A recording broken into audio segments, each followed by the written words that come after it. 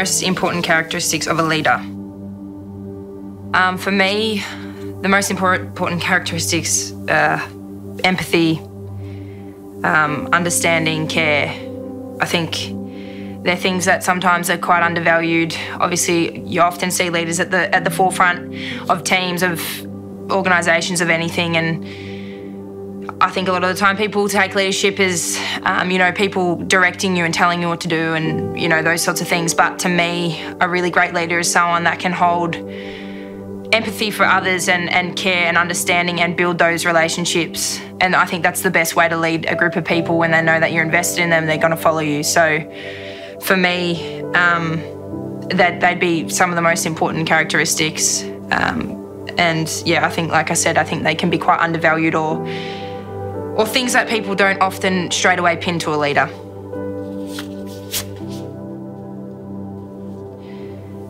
How have you tried to develop as a leader? So for me, um, this year's been obviously a bit of a different one for me. I would always say that my strengths as a leader has been um, my on-field, I guess, attributes and and characteristics and, and the way that I lead on field has probably always been um, I guess, my strengths. Um, I definitely think I've had elements of off field, but it's really pushed me this year to try and find other elements and, and areas of my leadership, having done my knee. Um, I faced the same thing back in 2018 when I was playing for Carlton and was the captain there, and I did my knee in, in round two. And yeah, I had, to, I had to find other ways, and I, I, believe I've tried to do that this year. I've tried to, you know, get around the girls off field. Um, I've tried to, you know, when I when I see things in the game, I've tried to impart my knowledge or help the girls with that. But yeah, it's it's been tough not being able to lead the way I want to. When you have harder moments of why do I bother or why do I do this, uh, what is it you come back to that drives you to go on? So for me,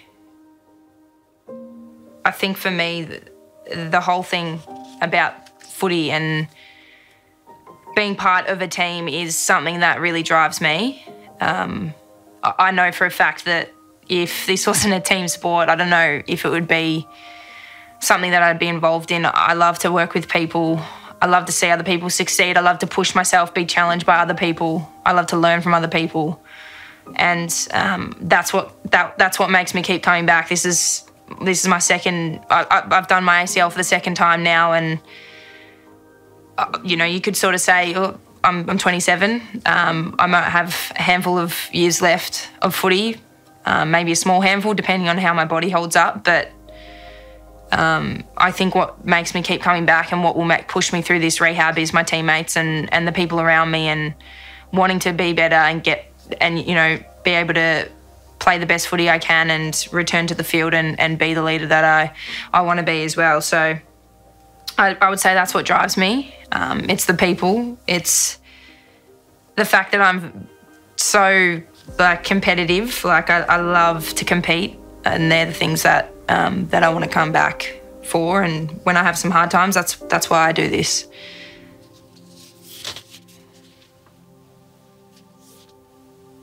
So, what is your process for dealing with adversity?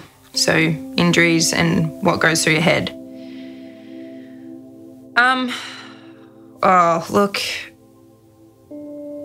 It's, yeah, it's a good question. And for me, and I've, this is, a, I've, I've done my knee for the second time. I did my first knee in 2018 when I was playing at Carlton, and now done my knee in round one of the season just passed with Collingwood. And I think for me, what keeps, I guess, what keeps me going and, you know, allows me to deal with it is that I guess sometimes you do have to have a little bit of perspective. Yeah, absolutely.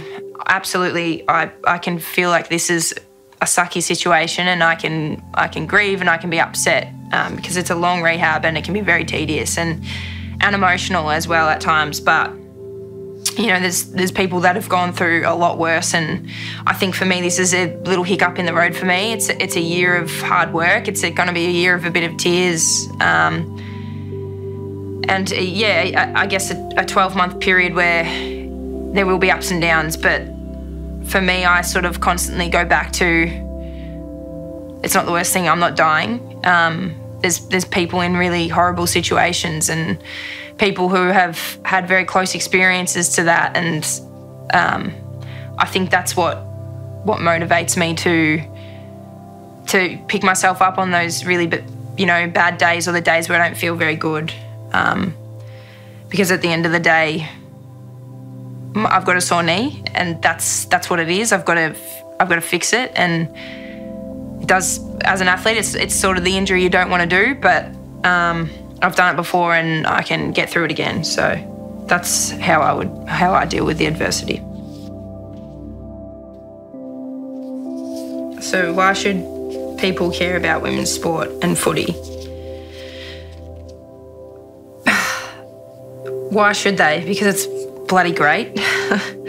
um, sport is literally, and footy in general, that's they're such great sports. And, when we're talking about the women's space, it's more than just the game. We have such an inclusive environment. We have an environment full of different different types of people, different backgrounds, and you know, different identities, different sexualities, and just different um, in general. And we all really embrace each other and get around each other and for me, that's the coolest thing to be a part of a place where it's so accepting and so inclusive and so diverse. Um, and on top of that, like the footy's awesome. Like it's every single year we see it get better and it's only going to continue to. And I think it speaks volumes that we've got so many young girls playing and signing up to Auskick and football clubs now. And, you know, we you compare that to 10 years ago and it just wasn't the same, or even six years ago before the AFLW even sort of began um, you didn't see that the number of or the volume of girls running around because there wasn't there wasn't an option. Um, so football wasn't the chosen sport for women or for young girls, but now it can be, and you can see the impact of what the AFLW's had already. Um, so for me, you know, if if you're someone who hasn't watched much of the women's space, like I encourage you to be patient um, we haven't had 100 years or so of playing footy like, you know, the men's have, and they've been able to sort of develop their brand and then go go from semi-professional or part-time to full-time professional. Um, so be patient with us. Like I said, the footy is getting better every year, and you know, if I, I, I, encourage you to think about the, you know, the girls, the young girls or the women in your life, and how this could impact them and if they were playing. Like what what would you feel how would you feel if they were playing? Your daughter's running out there for one of the teams you know? Um, i'm sure you'd get behind it. I'm sure you'd support it. So you know I, I encourage you to think of those things when when you are thinking of giving women's footy a try or you know women's sport in general think about those people have them front of mind when when you decide to i guess pass judgment or criticize or whatever it is um, but people should care about women's sport. People should care about footy because it's bloody awesome. And it's as simple as that. So, which person has had the greatest impact on your life? Okay, this one will make me emotional.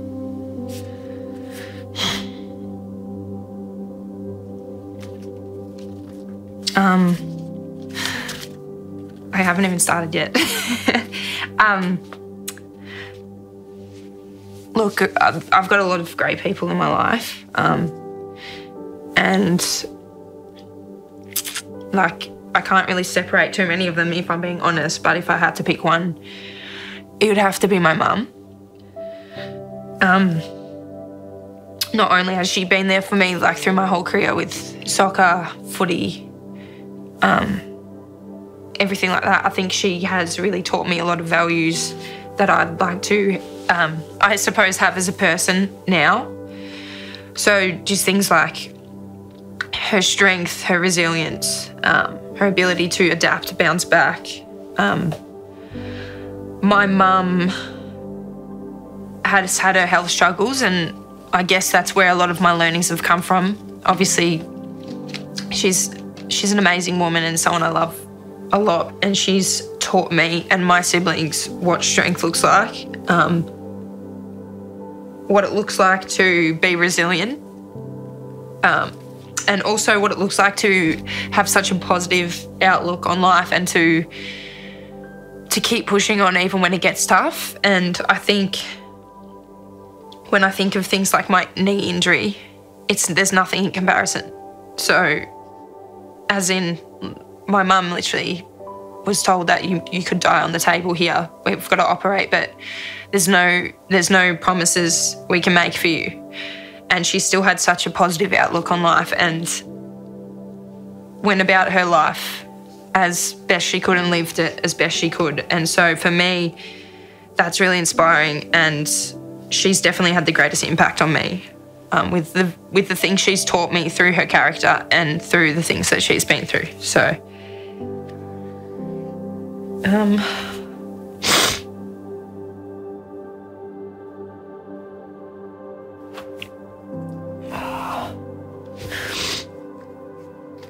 I actually need to take a moment, sorry.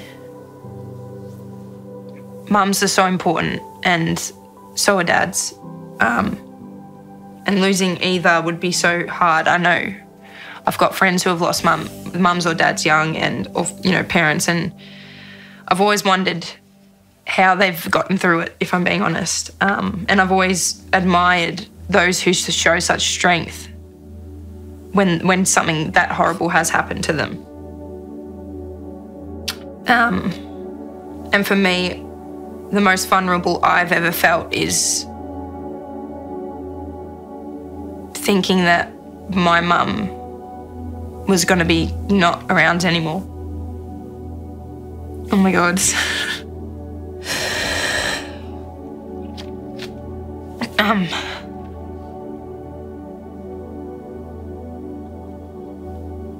So my mum's had numerous brain surgeries for aneurysms in her head, and every single time she'd she'd get the same chat. You just letting you know like possibility is you could die on the table, or just letting you know the possibility is that you won't you won't come back in the same personality. You won't have feeling in your legs.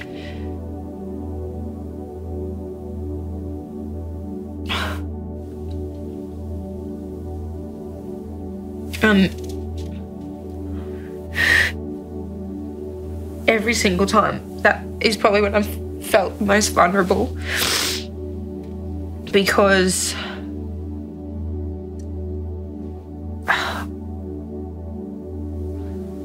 I I do not know what I would do without my, my mum and my dad, but losing a parent to me is makes you makes you vulnerable and that is thinking about losing mum and even the possibility of it, that is when I felt the most vulnerable. I remember her, the last brain um, operation that she had, the surgeon said, you know, this one is the most risky one we're gonna we've we've had to do up to date. She had a really tiny aneurysm in a really tricky spot, um, to the point where a lot of surgeons didn't want to operate. Um, and finally, one put up his hand and said, I will pull, pull up, but you need to understand the risks. It is very risky, and your percentage of, you know, you know, death on the table or something severely being impacted here is very high. And so we knew this with her going into this operation, and um, it's the most scared I've ever felt. It's the most vulnerable I've ever felt. And I remember saying bye to her, and um, the medical people said, you know, we'll we'll call you guys when we'll call you when it's finished, and we'll let you know how she goes. Um, and brain operations go for a very long time. They're six, seven, eight, nine, ten hours. It really just depends on on the situation. But in this situation, it was going to be a long one because of how tricky it was. And I remember hopping in the car to go home and we were all sort of in tears. We'd said bye to mum and sort of kept a straight face because we wanted to be like, you're going to be fine. But we all knew how risky the situation was and what the chances were. So, of course, we were all terrified. Um, and then we get a call an hour later. And I remember my older sister picking up the phone and my face just dropped because I was like, I was like, brain operations, they don't go that short. So she's. I thought she was dead. Um. Yeah, I thought she was dead. And then. On the other end, um, like I said, my older sister picked up the phone, but on the other end, they basically said, Come get your mum. We actually scanned her brain just before taking her in, and the aneurysm has gotten so small that we that we don't need to operate anymore.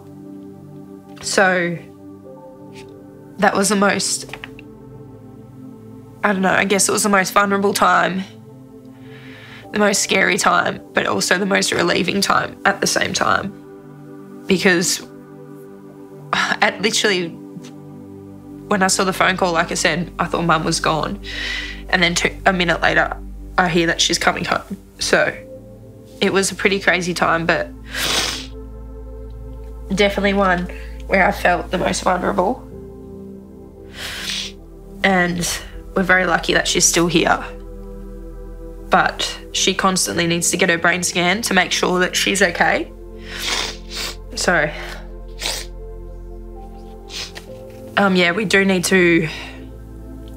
Yeah, constantly she needs to get her brain scanned to make sure that the aneurysms haven't grown or anything like that. But so far, so good. She has a yearly scan usually, and um, she's been okay up until this point, and we obviously just continuously hope that's the case. But yeah, well, it's a very long answer, but that's what, when I've felt the most vulnerable.